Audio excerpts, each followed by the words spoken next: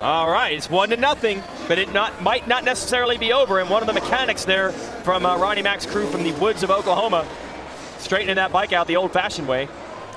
Will. Guys, I'm here with Ronnie right now. Ronnie, you were full of confidence there before that, and then we saw that incident. Talk us through what happened. How are you feeling now? Are you going to get back out there? Like I said before, we had a 69% chance of winning that one. And you know what? We just flopped over on the other side, and that's what happens.